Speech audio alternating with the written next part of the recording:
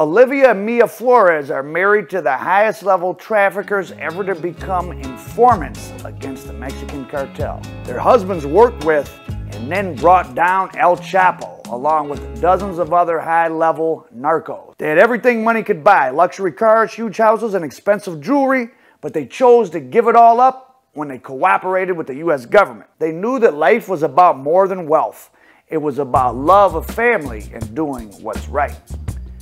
That's the blurb for Cartel Wives. Cartel Wives is a love story, a married to the mob story, an insider's look into the terrifying but high flying empire of the new world of drugs. And finally, the story of a major DEA and FBI operation.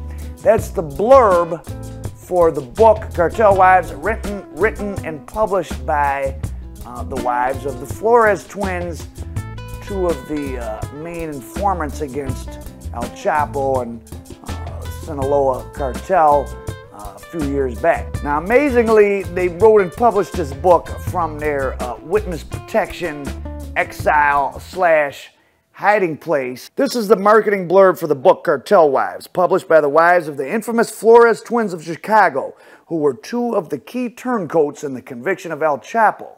While they were in hiding and their husbands were in the witness protection wing of some federal prison or perhaps in a halfway house like environment. Now, when criminals write their own stories or have it packaged up by entertainment professionals, it becomes very sanitized. The blurb claims that their story is about love, family, and doing what's right. Not that the Flores families don't have love or family bonds, but it's definitely always about the money first and foremost in the world of serious gangsters. Never let anyone tell you otherwise. Now, last year when I was in Chicago, I actually had an hour long phone conversation with one of the Flores twins and especially his wife. Someone put me on phone with them when I was in the Chi. We talked mostly about their fairy tale romance, uh, how they were enjoying normal suburban life wherever they were at, and how they wanted to make a positive change in their community. Now, all those things are probably true to some extent or another, but even after doing the right thing and that money, quote, doesn't buy happiness, turns out they were still spending dope money on lavish trips and material items. Though they did pay their kids' private school tuition, and ironically, I guess they paid off their own federal student loan debt. Viviana Lopez and Valerie Gaytan, wives of former Chicago kingpins Pedro and Margarito Flores, used drug money for 2018 and 19 trips. A federal affidavit uh, said in their indictment back in June of last year. After the Chicago Kingpin twins were arrested in 08 for their dealings with El Chapo, their wives took lavish trips to the Caribbean and Europe that were paid for with bundles of suspected drug cash they got in the mail. Viviana and Valerie used drug money for the trips in 2018 and 2019 to fly, to example, for to Las Vegas for a Jennifer Lopez concert, to the Turks and Caicos, by Greece, Italy. This all came out in a warrant that the U.S. Postal Inspector had for a particular piece of mail. Priority mail package with a return address for the mother of one of the twins' wives. And the two women are referred to as spouse one and spouse two in the affidavit. But like I said, in June of 2021, they were charged with stashing hundreds of thousands of dollars in money from back when their uh, husbands went to prison and receiving it in these packages in the mail over the years. Uh, but things were kind of fishy from the start, of course, when you make a deal with the feds. You, you have to tell them all the crimes you committed, and you got to turn in all the stuff you're supposed to turn in. But one of the twins gave his wife a Bentley as a like a going away present right before he went to prison. And I would imagine at the time this was going on, the feds probably knew what was happening and they looked the other way because they can usually trust criminals to keep doing what they're doing long enough to hang themselves. Uh, people that have um, been engaging in risky behavior for themselves and others to get money I mean, if you don't stop them, they won't stop on their own. So while they needed the Flores twins to testify, they probably let them do whatever they wanted to do, thinking they were getting away with it, knowing they would drop the hammer later on, which they did on the two wives a few months back. Now let's go back and refresh our memory on the Flores twins and some of the things that went along with their wives' lives of luxury as detailed in their book. Pedro Margarito pled guilty to handling thousands of kilos per month for Sinaloa, Chicago, and around the country. A little birdie in Chicago told me that uh, they paid people to track him down because he was part of one of the big uh, Chicago organizations that had a large retail operation on the street, and they were trying to give him 100 kilos of heroin at a time on consignment, which is equivalent to like a thousand keys of cocaine of money. So they probably were making just as much on the H as on the white, and I don't think that was in their indictment. So massive money generators for the Sinaloa cartel. Without guys like them, there is no Sinaloa cartel. And you can go watch my interviews with Damian Cash, who uh, worked directly with the Flores twins. He's, you know, uh, and you can get a taste of what uh, daily life was like at that level of the food chain. When the indictment came down on them, they actually went to hide out in Mexico, actually living with El Chapo for a period of time and still directing traffic in Chicago and all across the country from south of the border. Once they made the decision to cooperate, they kept working with Sinaloa for a while to help the feds build an airtight case, but uh, as it comes out in this indictment, like they would set some of their old customers up. They would call guys, hey, come get 50 kilos on consignment, just pay me for 10 of them now. Boom, the feds would hit them. But they were probably doing other deals on the sides they didn't tell the feds about and kept the money and stashed it, and that's what's been being spent all along. It's a major no-no not to tell the feds about all your crimes and not turn over everything you're supposed to they can and have pulled people out of witness protection and sent them back to prison after all. Uh, even some feds don't like quote unquote snitches and uh, they probably love the opportunity to go back and punish people that they feel like kind of, uh, you know, got away with something in the first place. Like I I'm sure they loved to slam Sammy the Bull when they gave him 18 years back in the day. The indictment provides more details on how the wives spent their money in exchange for their cooperation with prosecutors, the Flores twins got relatively light sentences of 14 years in prison, while El Chapo, of course, got life. According to the uh, warrant for the mail that was put out in uh, October 2019, one of the Flores brothers' wives was spending up to 30,000 in cash per trip. A man in a pickup truck would deliver the cash to a travel agency in Chicago that booked the trips.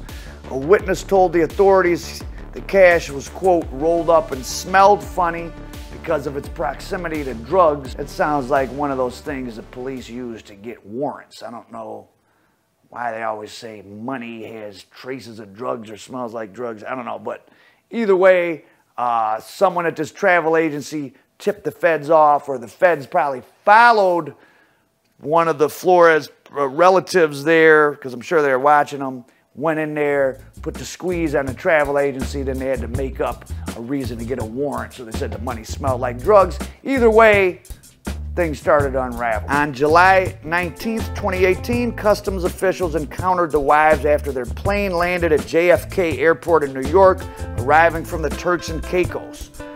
One of the wives had five cell phones with her. Two of them had Chicago area code. The other was carrying a sheet of notebook paper that appeared to tally up tens of thousands of dollars coming from different sources. I mean, were they still doing stuff? Probably they were just getting old money sent to them.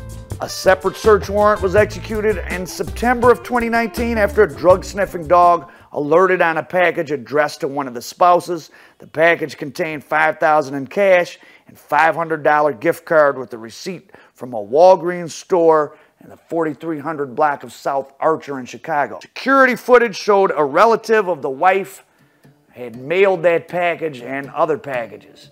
So that relative knew where the money was at, would get it and send it to them where they were at in witness protection. So they had money stashed in Chicago being sent to them in witness protection, and the wives were going on lavish trips while their husbands were finishing up their prison terms.